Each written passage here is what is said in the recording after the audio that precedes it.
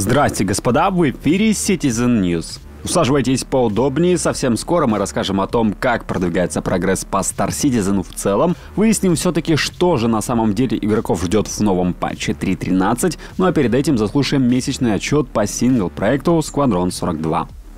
Live на этой неделе был посвящен патчу 3.13 и ответам на вопросы. Давайте, как обычно, кратко и о самом главном. Почему названия на кораблях такие мелкие? Изначально ЦИК не думали, что размер получится настолько мелким. К сожалению, система сделана таким образом, что масштабирование приведет к тому, что буквы попросту разъедутся. Эту проблему исправят. Какие существуют планы касательно нового ROG DS?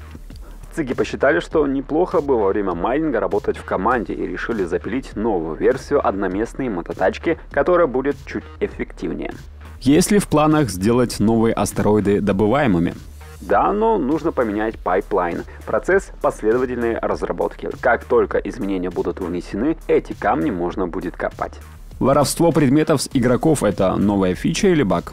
Это баг, и в скором времени его исправят. Как тележки и станковые пулеметы должны поменять ощущение игры? В 3.13 никак. В идеале мы хотели бы выпускать геймплейные элементы совместно с тем атрибутом, который разрабатываем, но, к сожалению, пока некоторые команды попросту не успевают завершить свою часть работы. Пока же их можно просто потестить.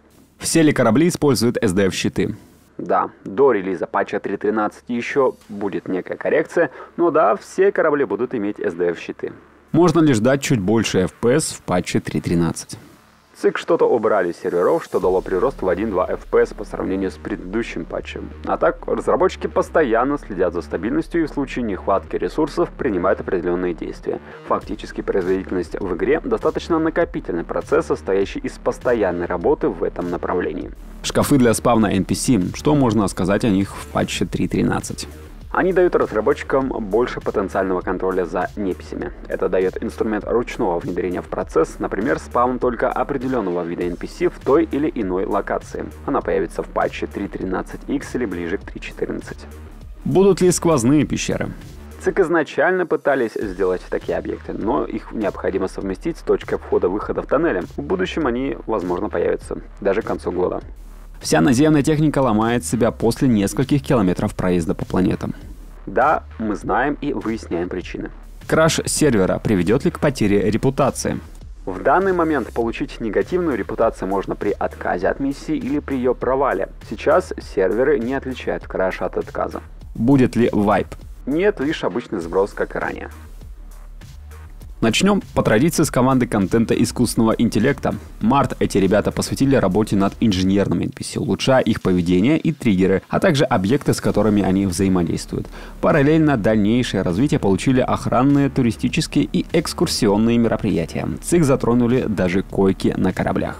Другая группа разработчиков завершила первый проход по субкомпонентному таргетингу. Это даст мелким кораблям выцеливать отдельные элементы более крупных. Эта фича также внедряется в систему сканирования для поиска нелегальных грузов. Со слов ЦИК, при этой функции NPC могут позволить пилотам запросить сдаться властям во время боя еще прошла работа над стыковкой искусственного интеллекта со станциями. Возвращаясь к системе сдачи, она также внедряется в систему характеров NPC. Например, трусливые боты, не имеющие возможности дать отпор, попросту бросят с вами перестреливаться и попросят мира.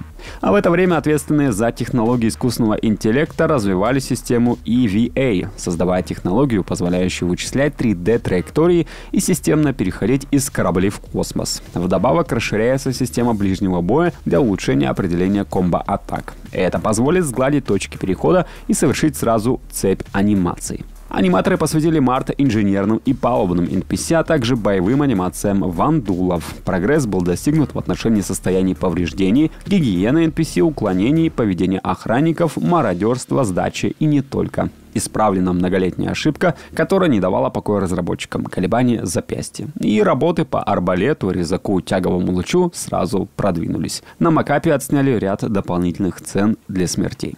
Арт-команда начала работать над вражескими фракциями, которые будут находиться в системе Пайра. Параллельно продолжалась работа над волосами, униформой Адвокаси. Новые шейдеры были разработаны для глаз и ушей.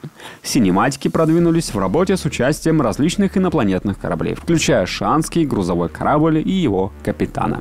Перейдем к более громоздким разработкам. Инженеры добавили физическую поддержку для нескольких солнечных систем. Новый тип сетки повторяет конфигурацию корневой, а также возможность пропускать через внутренние и внешние проверки, чтобы в свою очередь позволит нескольким экземплярам таких сеток перекрываться без случайного перехода сущности между ними. Была также добавлена трассировка лучей для проверки пересечения потокового света. Это как раз позволило команде исправить ряд огрехов освещения. Отладка кода с применением лучей прошла и на планетах. Работа по рендеру вулкан продолжается. Было переработано масштабирование разрешения и рендеринг. В Gen 12 были перенесены такие функции, как эмиссионное освещение и размытие движения объектов, а также частично был переработан анализатор шейдеров. Большой прогресс с каждым месяцем есть над объемными облаками. Была добавлена поддержка оттенков цвета. Решение с несколькими рассеяниями также получило улучшение в виде учета оптической глубины атмосферы вдоль теневых лучей. Само формирование облаков было дополнительно улучшено. Также отполирована облачная тень. Наряду с этим были реализованы первоначальные оптимизации.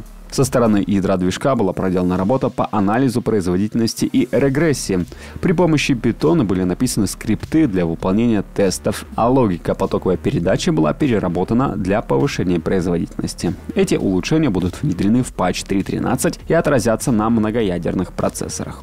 Команда функции Squadron 42 начала работу над формационным полетом, где игроку будет указано его место, а также будет представлена возможность лететь вручную или автоматически. Графическая команда исправляла собственные ошибки, например, в системе рендера текстур, которая не имела фиксированного объема, что иногда приводило к утечке оперативной памяти. Теперь система строго привязана к разрешению экрана. Они также начали планировать переход на вулкан, чтобы лучше понять, как распределить команду, которая будет исправлять ошибки, переходы между функциями. Команда визуальных эффектов работала над распространением огня, наладкой SDF щитов и освещением частиц. Дизайнеры в прошлом месяце работали над дополнением больших локаций, чтобы добавить некую живость пространству. Группа, ответственная за интерфейсы, отшлифовала поддержку обновленного радарного геймплея для транспорта и режимов от первого лица, который включает в себя улучшенный пинг. Вдобавок к вышесказанному, VFX команда работала над различными эффектами сталкивания частиц пыли с кораблем в газовых облаках, новые водные эффекты для грязных мест и некоторые электрические. Перейдем к месячнику по Star Citizen. Напомню, что многие задачи пересекаются со сквадроном, поэтому мы отметили лишь те, которые отличаются. Так разработчики наконец переместили аванпосты в стиле колониализма из White в Greybox, добавив дополнительные модули для расширения функциональности и геймплея. Новые стыковочные рукава и вестибюли будут доступны уже в майском ивенте. Команда зон посадки продвинулась в разработке станции Horizon. Работы были близки к завершению и в настоящий момент, имеется в виду в марте, завершается и полировка. Последняя итерация выставочных залов также была закончена. Команда органиков завершила работу над новыми входами в пещеры и дополнит фауну Horizon новыми растениями.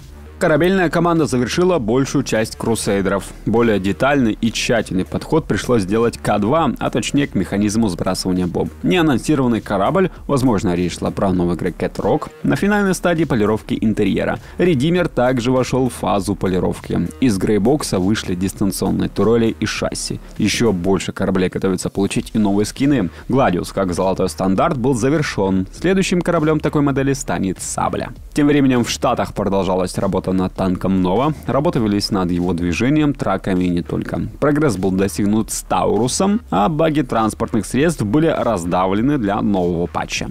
Оружейная команда вовсю работала над пушкой седьмого размера от Биринг, прежде чем завершить работу над очередной партией кораблей от Crusader Industries. Насадки для мультитула под Сальваш отправлены на раннее тестирование. Арбалету улучшили настройки и проверили работу анимации. Были также выполнены несколько задач по пушке пятого размера танка Нова, медпеном и другим устройством для медицинского геймплея. Команда функций геймплея продолжила работу над двумя новыми приложениями для мобигласса, системой репутации и менеджером ассетов. Команда в США продолжила планирование предстоящей физикализации грузов. Это может создать некоторые проблемы из-за того, что грузовая система переплетается с несколькими другими областями. Товарный киоск из Flash преобразует в систему строительных блоков. Был достигнут существенный прогресс над очередным масштабным ивентом, который находится на заключительной стадии разработки. Продолжим открывать детали скорого ивента, который состоится уже в мае. Итак, разработчики создали новую систему безопасности, которая позволит им идентифицировать вход игрока в закрытые для него зоны без получения разрешения. Места космических боевых миссий были увеличены сразу в 4 раза вокруг Крусейдера. Прогресс продолжился и над системой Пайра. Тем временем команда, работающая с бэкерами, наконец расширилась. В Greybox вошли такие реквизиты больниц, как кровати и каталки. Наконец, команда сервисов и инструментов готовит публичную презентацию системы Quantum. Вносятся последние штрихи в искусственный интеллект и информационные службы. Турболенты посвятили март работе над сервер-мешингом, привлекая дополнительные человека-ресурсы. Внутренние службы впервые представили демку системы управления собственным парком техники. А в этот момент художники по интерфейсам приступили к созданию визуальной части медицинского интерфейса, представив функциональный прототип, который уже будет готов к производству в этом месяце. Пользовательский интерфейс был отшлифован как для радарного, так и для сканирующего геймплея, в том числе для пешего хода. ЦИГи близки к завершению проекта по правильному функционированию шасси во всех областях игры. Это включает в себя правильную синхронизацию шасси с сервером. На этой неделе ЦИК добавили очередную порцию задач и команд, доведя свой трекер прогресса до версии 1.0. Что теперь он включает в себя? Результаты теперь можно фильтровать по целевым, а не по командным. Организован поиск нужных задач, естественно, сортировкой в фильтре как по алфавиту, так и по проектам. Команда разработки физики сейчас график работы этой команды пересматривает, что привело к временному изъятию ряда задач. Физики движения в кванте, рефакторинг физических областей, физика воды, плавание больших объектов. Также пересмотру подверглись планы и команды разработки функций для миссии. Это значит, что в небытие улетели гонки на GrimHEX е, заключение версия 3, динамическая численность и bounty hunting версия 2.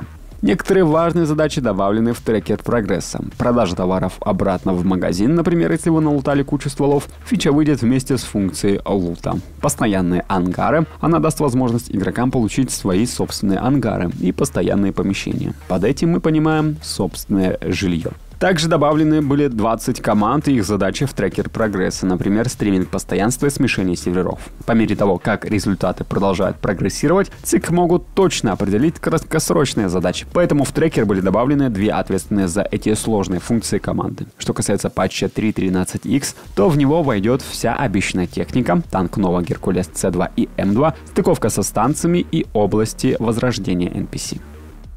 К новостям одной строкой. Cloud Imperium нашла новый дом для студии во Франкфурте. Крис снял новый офис площадью в 3000 квадратных метров в центре города на 10 лет. Теперь базировавшаяся там студия начнет переезд. Как скоро, пока неизвестно. Как неизвестно то, как повлияет это на разработку. Напомню, что сейчас из-за локдауна в Германии все работают из дома.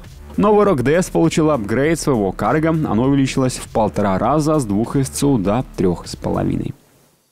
Ну и в конце, по новой старой традиции, читаю ваши комменты под предыдущим выпуском. Пишет Никита Саватимский. Ага, заплатки и износ поверхности кораблей, которые не живут долго из-за багов игры, эм, альфа. Вот нахрена? Ах да, мы же работаем. Правда, не над локациями и механиками, а над текстурками и шейдерами джипеков. Ну, кому это интересно? Ни не понял. Ну, очень интересно. Никита, предлагаю пройти строгую процедуру заморозки тела лет так эдак на 10. Вдруг там патч 4.0 выйдет? Нет, опять спать. Зато вы не постареете. Азеев Сергей пишет. Какая-то хренотня. Игру не делают. Делают заправку. Реальный развод. Игровой МММ. Элитка, походу, намного быстрее ведет подобные механики. Да что ты, черт побери, такое несешь? Сергей, вы уж определитесь, геймплей и механики делать или вас на деньги разводить. В конце концов, скоро выйдет новый JPEG, вы там отложите копеечку. Влад Грум расщедрился на поэзию. Без воды, без рекламы карпы. Вот за что я уважаю Джем ТВ. Ну, лови ответ. Раз пошел такой замес словесный, скажу вам прямо. Тут вокруг одна реклама. Элементарно. Поразительно. Не забудь влепить мощный лайк, вдарь в бубен как следует, чтобы иметь все шансы посмотреть новое видео первым. С тебя также поход по ссылкам в описании, ну, как всегда, наши ряды постоянно открыты, ссылочка на наступления под видео. Берегите себя и пока-пока.